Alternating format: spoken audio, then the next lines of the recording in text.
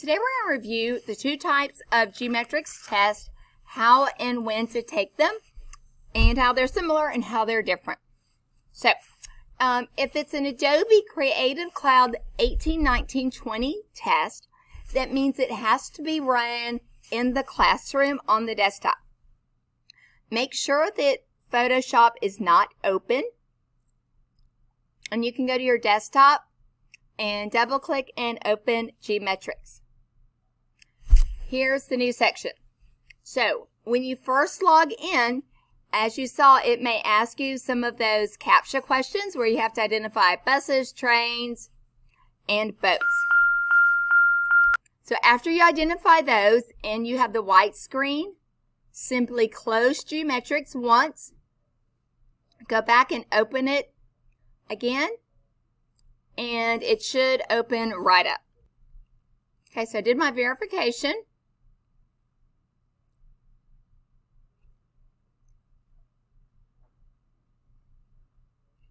And you may need to do it more than once. Okay, so after I've logged in, I'm just going to click the close, and then I should be able to open it right back up to begin with GMetrix. So here's the example of where you can do GMetrix from any web browser. Um, so you're going to go to gmetrix.net and log in through the student panel. Um, you can click Test, New Test.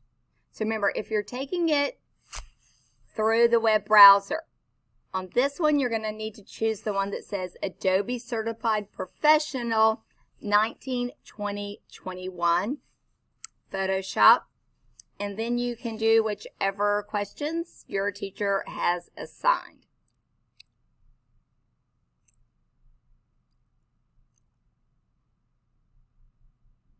Okay, and you only have to enter your access codes in once. Um, so you can answer a question. Okay, if you get it wrong, it'll let you know and be sure that you read the information about it. Um, you can mark for a review and skip it. Um, there are quite a few of these where it is, um, you have to like click and drag for the vocabulary.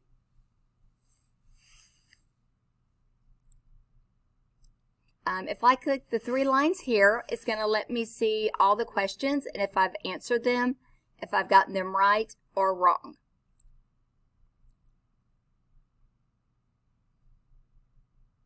Okay, so this is the part I really want you to see. So in the version running through a web browser, all of Photoshop is not live. Instead, only a few certain places are. Um, so this says select the layer out and about, save it,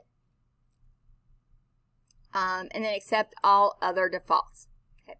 And if you get really confused, you can click the little light bulb there, and it will give you some hints here. All right, so in this case, we want to do control click on the out and about layer. And we want to go to the select, um, save selection. Um, we're going to type out and about text and click OK. And then the lab is complete. Okay, and then we can go on to the next.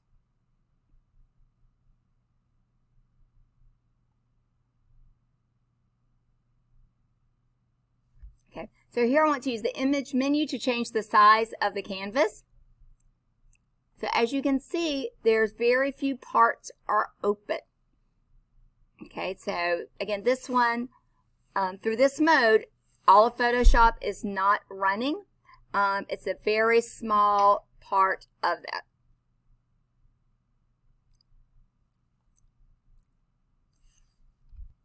You also see quite a few questions where they have um, a picture of the desktop with some items labeled. And again, at this point, we may not have covered every single thing in Photoshop. That's why we're doing this prepare for the exam. Um, so if I'm trying to figure out what will allow us to bend, you know, I can always just take a guess and see how that goes. And if I get it wrong, I can go back and try it again. Um, finally, if I end up trying to do something and it gets all weird, I can click the reset button here and it will reset. Uh, this right here is the question code. Um, so later if you have questions about a very specific one, um, then you can go and tell me that code to get help. Um, finally, right here, if we click the A's, um, that will enlarge the size of the font to make it a little bit easier for you to read. On your Photoshop exam, you're going to have about 15 questions just like this where you're going to have to know the tools, what the tools does, and you're going to need to be able to click and drag. Um, so remember, on these, um, make sure, even if you get them wrong, uh, make sure you go back and look at them carefully um, to see what you need to do to get them correct. At the end, you can click Save, um, or over here in the left, um, you can also click Save and Exit.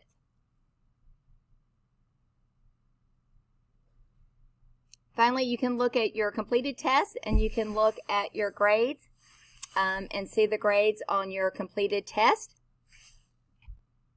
Um, a new thing I just noticed they have is if we click study guides, okay, and the, I'm going to choose the one for Adobe Certified Professional. That's the test I was just on.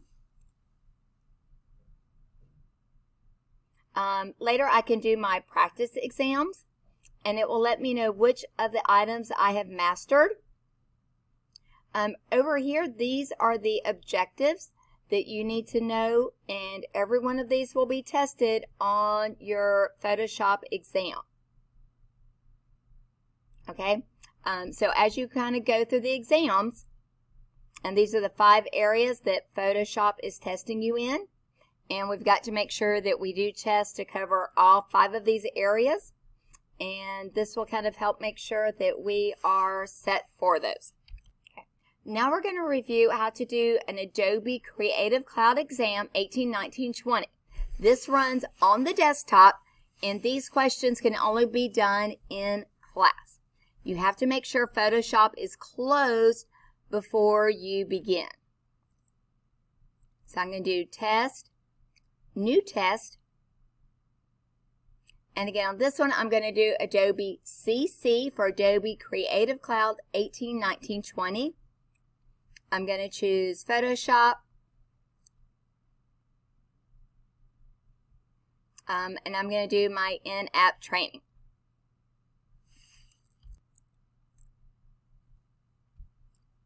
Um, Photoshop is actually running in the background. Okay, um, so when you're doing the GMetrix in class, um, you will have to give it a couple minutes for Photoshop and GMetrix to both start and sync before you can do the exam. And there's one little setting that you have to know about, and this is only for the questions if you have to do a new document, um, is to go and set this up. And you might have to toggle this on and off. Um, and that is Edit, Preferences, General, and then use that new legacy interface. So that's just kind of a little bit different. So this is running completely different. As you can see, GMetrix is running all of Photoshop completely. So it's going to give you a task to do. And you're going to need to do that exact The other thing with this type of test is the layer panels do not show up automatically. Um, so you're going to have to click your layers panel every time. Uh, so we want to go to the circles panel. Um, we want to change the opacity to 60. And we want to change the blending mode to hard light.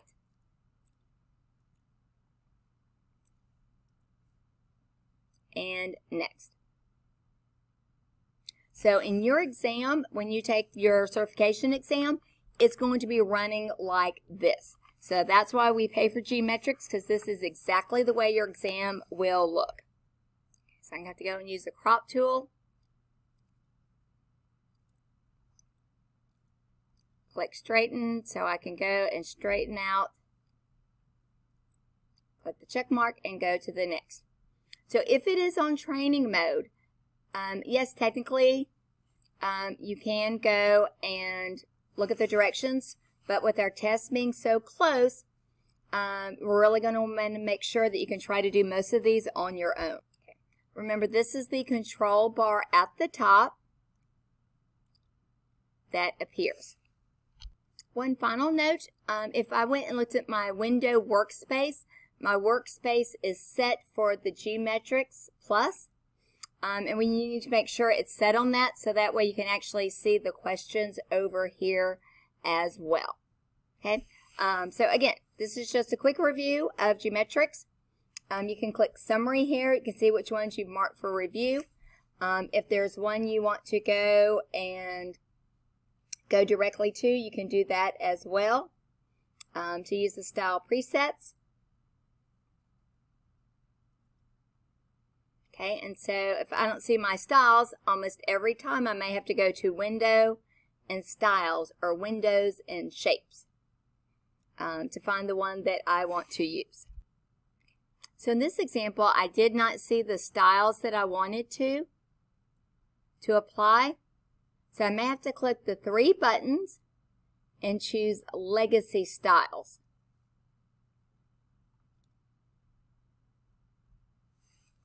Okay, and now I can see my legacy styles below.